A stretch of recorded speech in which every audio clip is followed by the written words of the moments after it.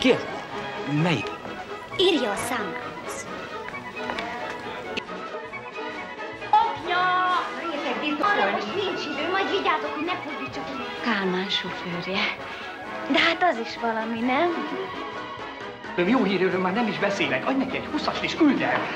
Szerintem nagyon csinos a ruhája. Legyen a feleségem.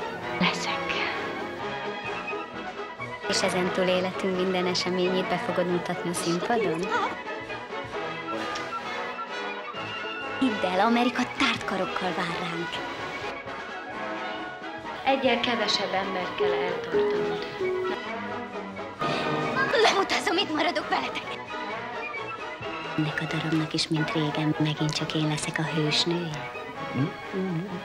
Nem jársz messze, Veruska.